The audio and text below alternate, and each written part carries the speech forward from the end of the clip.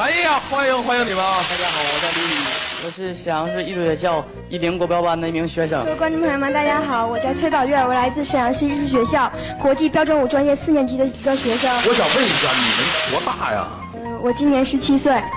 十七岁。七岁，那你呢？我今年十五岁。妈，你看人家这孩子长，十五岁长得比你修叔叔都高啊！